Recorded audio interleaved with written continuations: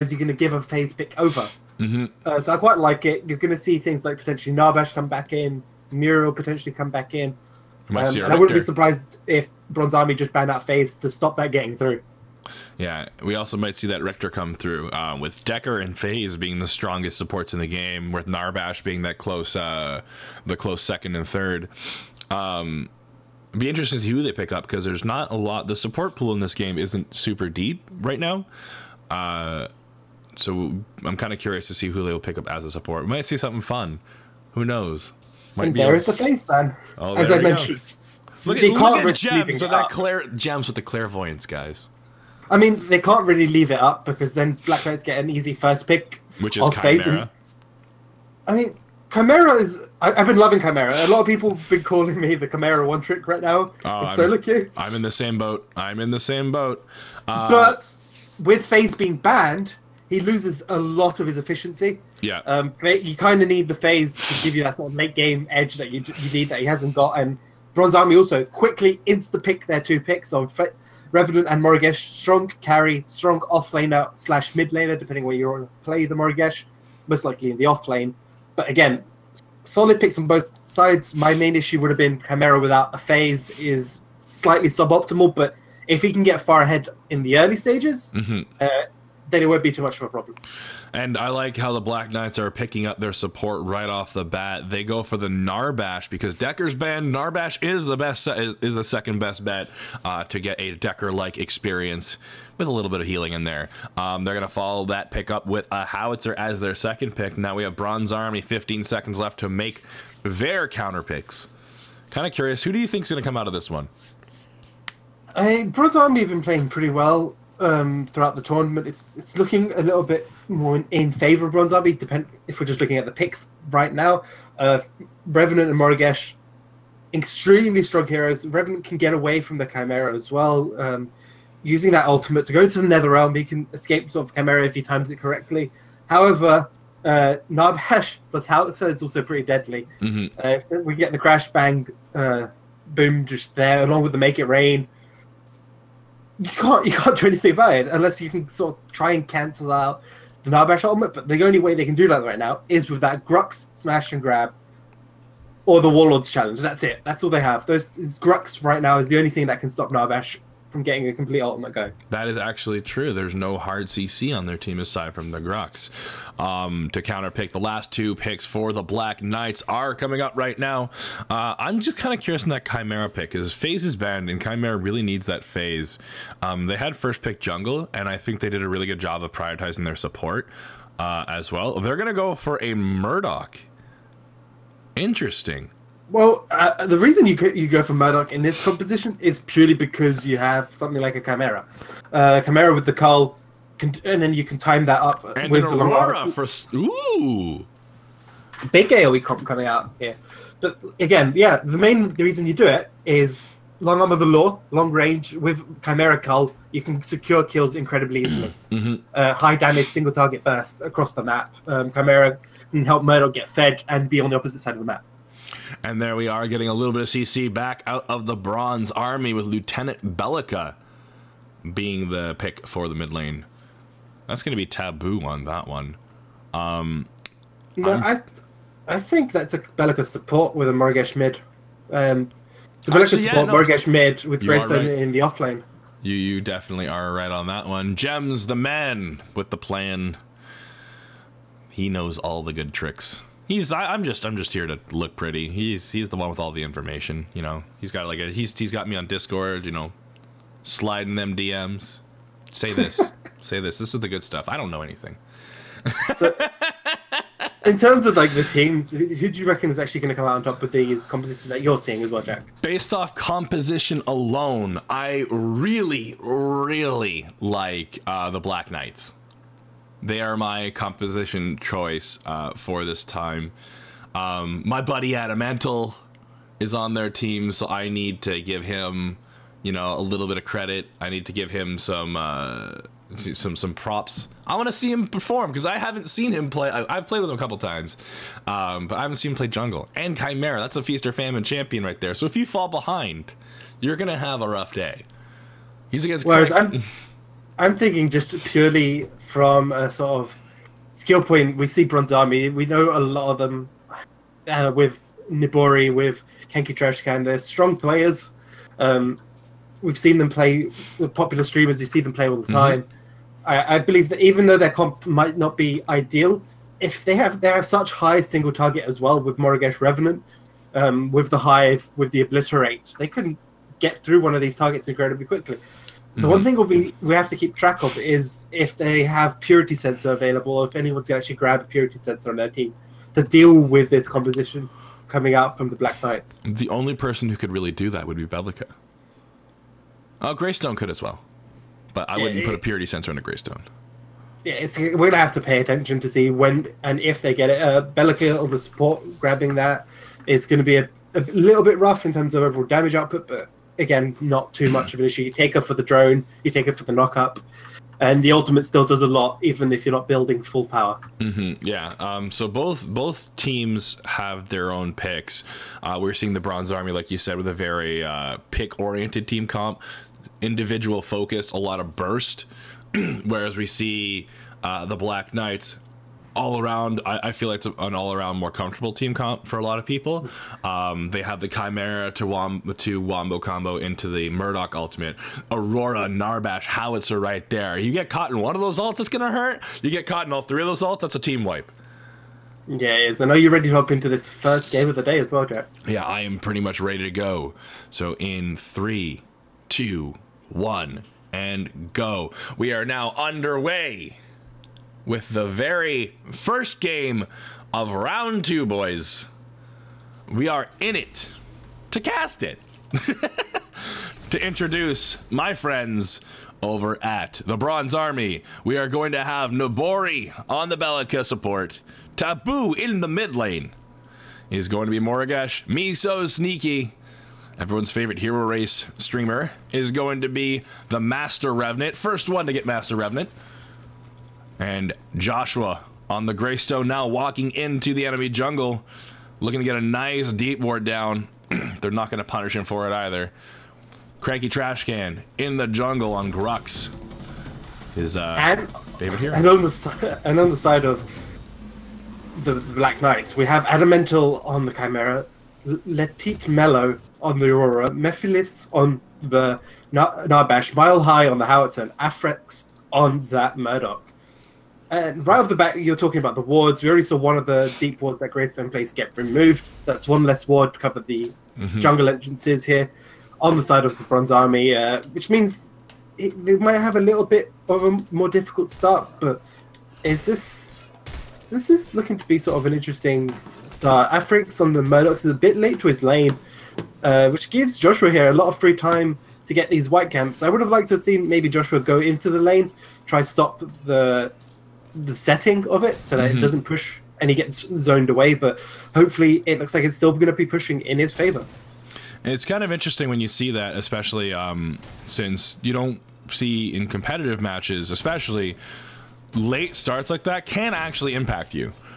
He's already missed a couple CS, you know, at the start, and uh, carries you want every bit of CP you can grab. Every every last hit makes a difference, um, and that does give Greystone the advantage there.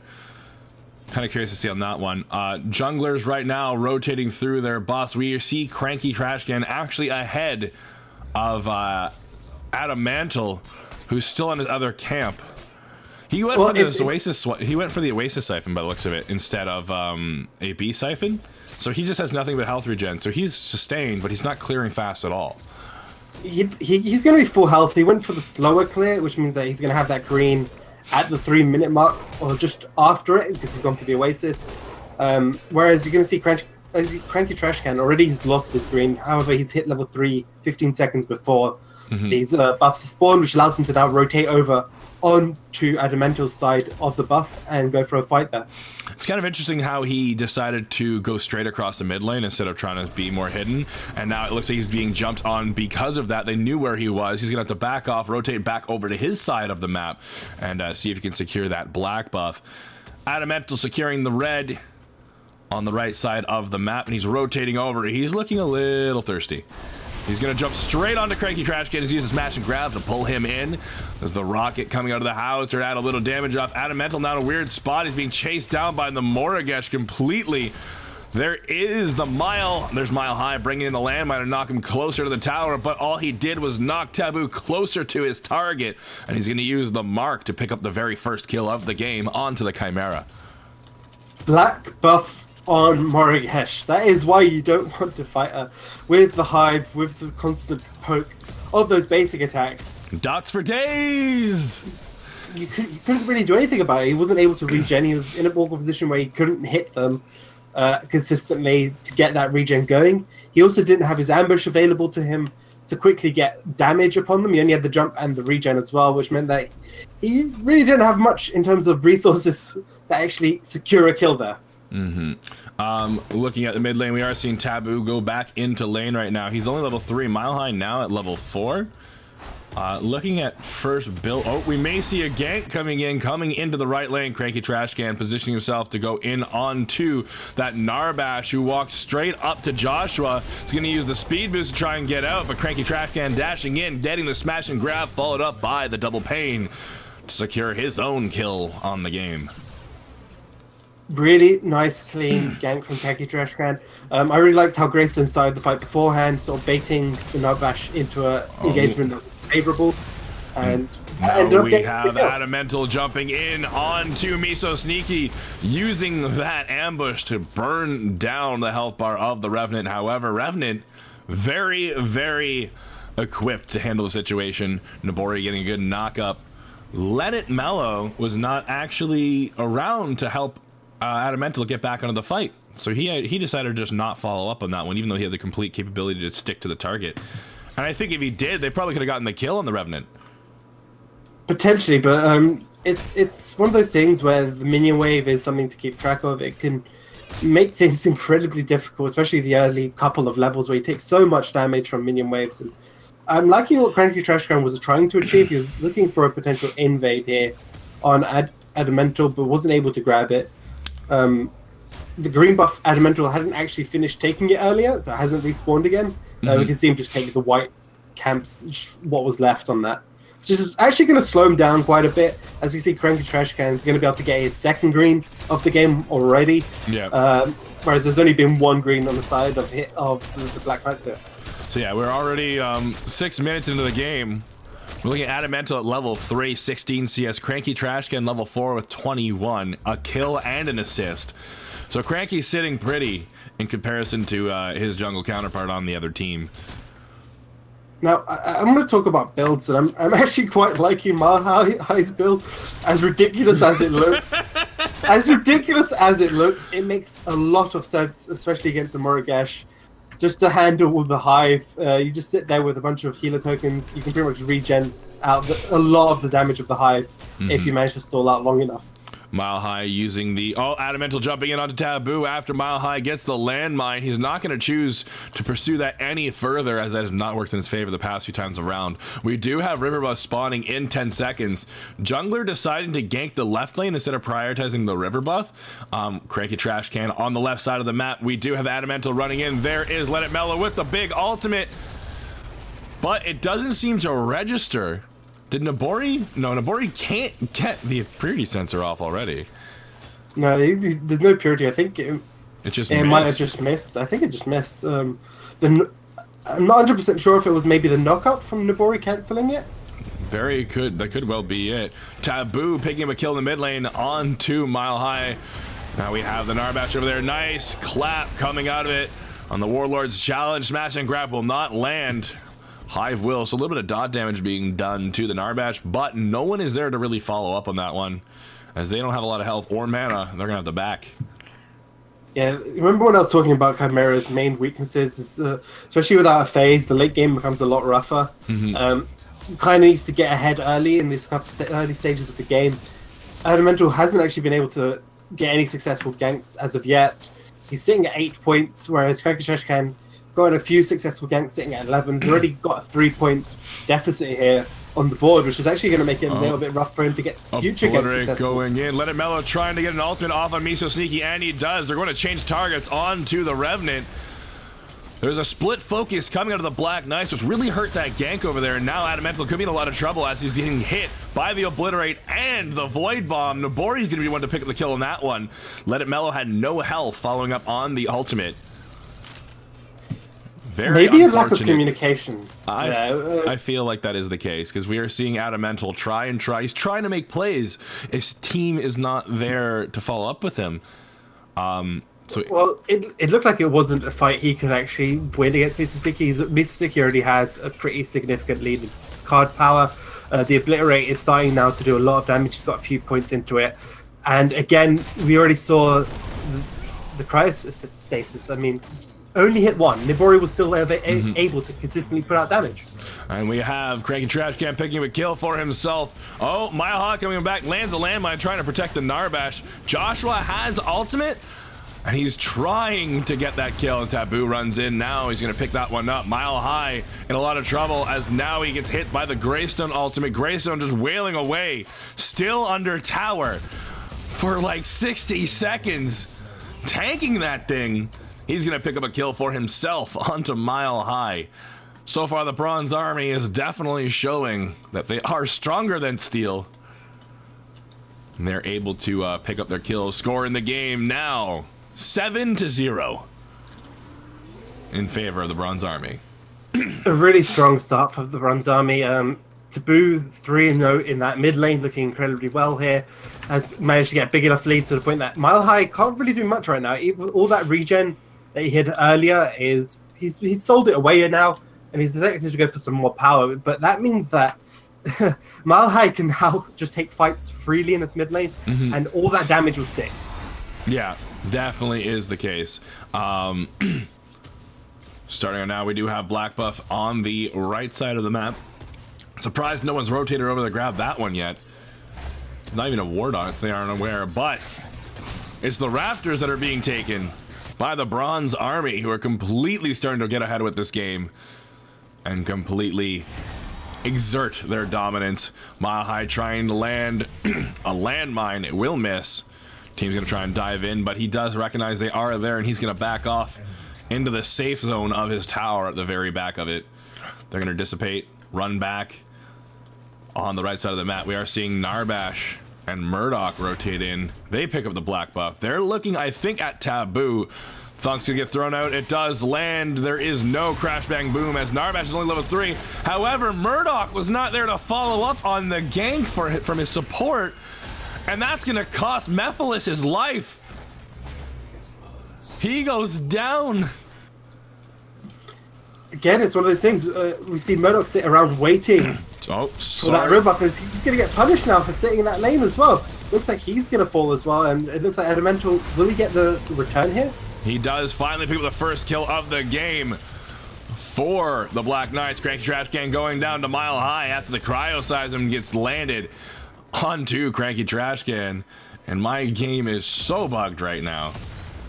Give me a second, guys. I'm just going to fix up a couple things here. Uh, Gems, if you could take this away just for a quick second while I get uh, my frame rate sorted out. Okay, so while, you guys are watching Jack's slightly off-putting frame rate issues, uh, at the moment we already still see the two kills that we saw the Black Army get in that last fight. However, they did lose Afrix on 0-2 on Murdock. He's already got a six-point deficit against Mr. Sneaky. He's sitting at 20 points on this Revenant. That is not a 1v1 fight that's ever going to be in favor right now for the foreseeable future, to be honest. Unless, unless the Bronze Army make a really big mistake and give up a, a big objective of trying to go sort of for an aggressive tower dive that doesn't pan out. Mm-hmm uh, Mr. Sneaky is going to be dominating the, the majority of these fights. Um, we are seeing Taboo poke down. Look at that one point of uh, the, the, damage that Hive is doing right now to that Murdock. The one mark with the Hive has brought him down to almost half health. And that's going to be a good indication of how big Taboo's damage is going to be coming out in the next team fight. When Taboo wants to hit that target, he's going to be able to just blow him up. 13 minutes now, we are seeing River Buff spawn Four people on the left side to secure that red buff. Blue buff for the Chimera. The Taboo's right around the corner. They're trying to clear out each other's wards. Adamental gets one, Taboo gets the other. Now seeing an ARAM kind of break out as the Black Knights are grouping flat mid. A lot of side farm being completely wasted right now um, for the Black Knights. I think they're just trying to keep their tower up in the mid lane and not lose too much else. However, they're losing a lot of farm. And we are seeing Bronze Army continue farm up, continue doing what they need to do. That's going to cost the Black Knights within the next five minutes or so. Yeah, it's really going to put them far behind. If we're just looking at farm, there's about an 80 point farm difference right now between the two teams. 30 minutes into the game, that is a good couple of points of CXP difference per player. Mm-hmm. Um, and you can see it on the board as well. Uh, Crunchy Crash Grand's 20 points, whereas we see Adamental's only at 14. And same of, thing across the board. oh, Cranky could be in a little trouble. There's the crash bang boom and the call coming out of the Khaimera as they're beginning to chase down the Grux. He jumps right back on him, and now we are seeing Adam spin in a circle and go the other way as it's Greystone he's going to change his focus to. Interesting choice. Taboo rotating him now to try and help out. Thunk coming out of Narbash onto Josh, who's going to use the speed boost to get away. Let it mellow. Goes for the cryoseism onto Cranky, hitting the one target. There is the clap coming out of Cranky Trash Can using the Warlord's challenge, followed by the Make It Rain. Murdock getting the long of the law onto the Grux will not do enough damage. Nabori picking the kill onto Narbash, and we have Taboo speed boosting himself into the team. He's looking to pick up that kill. The hive will land. Mile High could very well go down if those healer tokens aren't able to stick. And there's the mark through the wall. He picks up his own kill. That's a double kill for Taboo, and one for the support. Three for nothing trade in favor of the Bronze Army once again. Score now 12 to 2. Taboo on that Morigesh is putting in some hella work right there. Six and one, that hive hitting so many people mm-hmm. consistently, along with the mark uh, being used just to, cause, to take all those kills. And 15 minutes into this game, Army are gonna secure what looks to be the first prime of the match, and it doesn't look like Black Knights are gonna be able to do anything about it at all. Adamental running in now. He could be in a bad spot. Taboo sees him. He's looking to chase him down as that regen from OP is beginning to kick in and give the health and mana of the Bronze Army back. Getting ready for a nice big siege onto the tier 2 in the mid lane. Taboo's already way ahead. Getting ready to go in there and face and front line for the team. Great trash can now at full health. He's going on to. Oh my god, that tower damage is insane. They're not even gonna do anything. Cranky Trash Can now diving in. Miso Sneaky taking the tower damage. No one following up, deciding to do anything. There's Adamental making the first move, but Warlord's challenge stops the call completely. Crash Bang Boom going out, managed to land onto the Revenant. But Narbash goes down as well as the jungler for the Bronze Army. Miso Sneaky now in a little bit of trouble. He has no health. He's going to back off. Murdock trying to pick up the kill on his own. He's going to back off as he realizes his team is not there to follow up. They're now looking to push down the rest of that tower. T2 should be going down as that Prime is now regenning the entire team that is still alive for the Bronze Army. Tower going down. Mile High, the only one there. He's going to burn the ultimate. A little high in the air as the Obliterate chunks him completely. All we need is Taboo there for the mark, and he gets it. They're going to Well, continue. they, they decide to back out here and not go for this inhibitor, even though they still have the prime buff. Instead, they elect to go back, take the Raptors, and secure themselves a more CXP lead rather than essentially funneling more creeps down this middle lane, um, potentially giving them.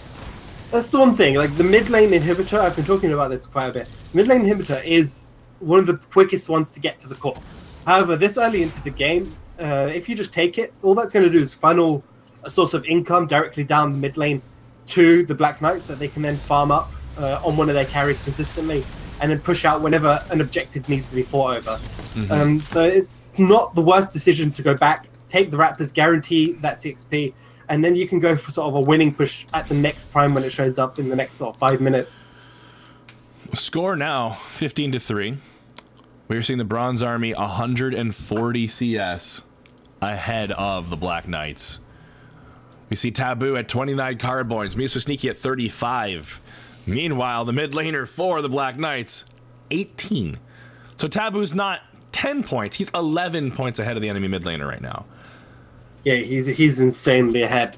Seven, one, and three. He's been involved in over in about in about two thirds of the kills in the game.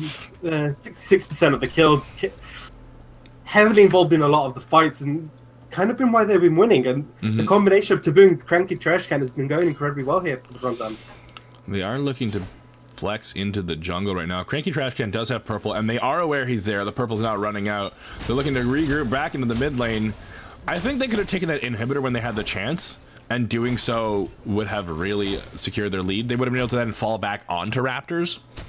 Instead, they elected for the Raptors. Now they're stuck in this weird no man's land where they have the advantage, but a throw could really throw that advantage and make the game back to more even, more of an even playing field. Cranky Trash Can with the blue buff right around the corner of Adamental. They know each other are there. He's looking the the random funk just BMing Cranky as they now jump onto that Amber Link. I really like what they're doing right now. You can see the Bronze Army essentially biding their time for the next set of resources, major resources to come up. Um, wait for the next Raptor or the next Prime to show up, and in the meanwhile, they're going to take control of this jungle. They're going to make sure that the Black Army have pretty much nothing in terms of power available to them. They're not going to be leveling up much, and the Bronze Army are going to get consistent minions and farm and just keep increasing the state slowly while they bide their time to take the next prime or the next raptors and force a nice fight away from these inhibitors. It's actually hilarious. We're seeing Cranky Trash Can right beside the enemy team, and they're scared to go in on him. They don't know what to do. He's standing right, he's literally right there. They could punish.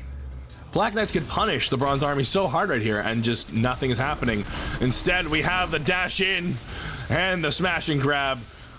Cryoseism will land onto Cranky Trash Can. He will not be able to get his kill, but that does take him out of the fight. He's now tower, taking tower damage.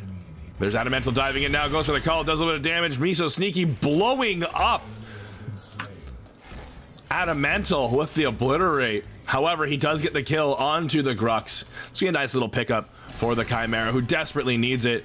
Now Miso Sneaky going in. What? I don't know what. I just got a bug.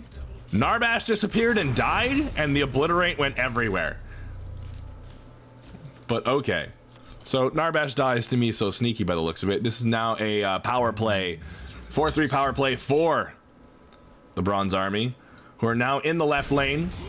Joshua just casual Greystone things, 2v1ing the enemy team. Um, we are in the right, left lane now. We do see Nabori and Miso Sneaky dealing that tower damage. Trying to get another tier 2 down. They've been at the front line this entire times, Gems. Basically on a 2-1-2 split. Trying to push up, just getting free farm, and nothing's happened. Every time Well, Black Knights go in, they seen- lose. We haven't seen the Black Knights fully commit five to one side um, because they can't really fight the 2v2s or the 3v2s. They're actually so far behind, even a 3v2 would go against them. Um, you can't really go on Miso Sneaky because he can just go, hop into Netherrealm and then you, you lost your main target to hit on, and he takes out one of them and makes it an instant 2v2 fight. Um, you can't really go on to Morigesh because she can just run away and join the rest of her team, and you have to overcommit. So they've been put in this really awkward position where they haven't really got all or nothing. They're not willing to give up any of their inhibitors.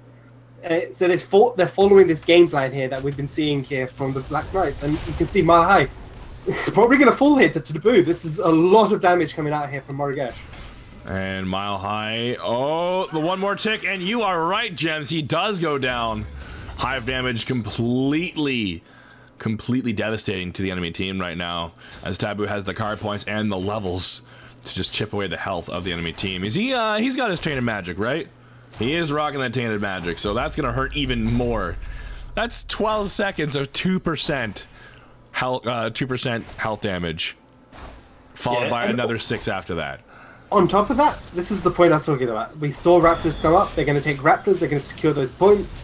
They're probably going to go back and spend this lead they've accumulated. We can already see Miso Sneaky sitting on 11 points unspent. Oh my God. He was doing a lot of damage before. He's dub- more than double ahead of the Black Knights here right now, sitting at 47. The next closest on the Black Knights is only 24 on that Murdock. And that is incredibly painful. This is looking really grim here for the Black Knights. It turns out bronze is stronger than steel. they are going to secure that orb prime. No one is there to even contest it. Adam knows they're around. You can see that Adamantl wants to make plays. His team, consistently through the game, has been very afraid to follow up on the Khaimera, which you cannot do because that puts Khaimera in a bad situation. And all you're really doing is just letting your Khaimera go in. You're letting him feed. And you're putting the Khaimera who can't fall behind behind. As a team effort. Now they've gone back, they've spent all their points, and they have Prime. This is like looking an ideal setup here for the Bronze Army to end this game right now. Um, this is the point in the, in the game where they try to look for an end game fight around one of these inhibitors and then try and push for the win. Mm-hmm. They've got such a commanding lead that they've consistently been taking all the resources perfectly. The fights around the buffs or the jungle have always gone in their favor. And now they're going to use that, push down this mid lane, probably set up the other two lanes so that any off chance of them losing a few towers is going to get removed. You can already see Joshua going to start this push, set it up as this Greystone because he could sit there. They have to send at least two to three people just to deal with him. All right, and we are seeing a 1-3-1 split as they are sitting the waves. Greystone now grouping into the mid lane. Cranky Trash Can will be doing the same as well. This could be very bad news for the Black Knight as a very primed up Bronze Army is looking to take down that inhibitor and the game. If they aren't able to defend this inhibit, if anyone goes down for the Black Knights, that's the end of this that could very well spell the end of the game. We are seeing the very first minion wave crash into the inhibitor. Joshua doing a great job of zoning out the enemy team, going on to Adamantl. Miko Sneaky with the obliterate 100 to zeroing the Khaimera.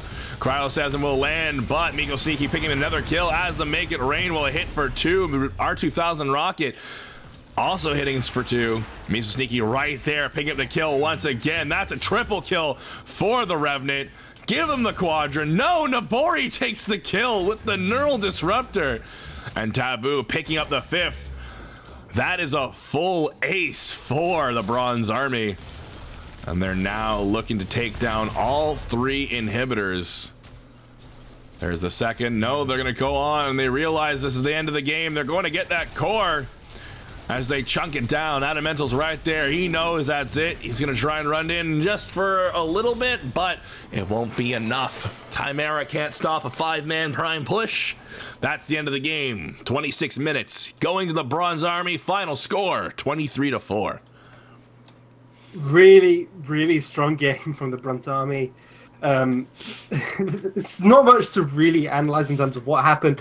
Um, they were allowed to get the first early couple of kills with Cranky Trash Can, um, doing incredibly well in the early stages as Grux were able to take to shut down Adamantl in the early stages, not allow that Khaimera to get ahead and do Khaimera things and just keep piling on sort of armor with damage. Uh, in the early stages, where he becomes incredibly huge nuisance, and from there on in, without Adamantl being sort of a force in the side of the Black Knights, mm-hmm. it made it incredibly difficult for them to actually achieve anything. Their, their ganks were suboptimal. Um, it looked like they were lacking a little bit of communication. Some of them, where one person would go in, the other person wouldn't follow up, sort of ganks. Uh, minion waves not in the right position during those ganks, and they ended up getting heavily punished for those as well. And I have to say congratulations to Ronaldo. They've got, I think this is their first game of the day as well, so it's a great start for them. Um, they're probably going to be 1-0 up in their group. Um, we'll probably catch up later to see if they make it through or not. Um, but for now, they're 1 0, and that's our first game of the day. Yeah, and we're going to take a quick break to get everything else set up. Next game coming up Oxygen Esports versus Eventual Demise. I don't even just say, I'm going to say it, but I don't need to. Will they meet? Their eventual demise, will it be quick? Or will they be able to actually stop Oxygen Esports, one of the strongest teams in Paragon right now? We'll find that out in just a second. I am Geronimo Jak. This is the man with the hairline that everyone loves. It's Gemss. And we'll be back for game two of round two of the NA qualifiers brought to you by the PCL in just a second.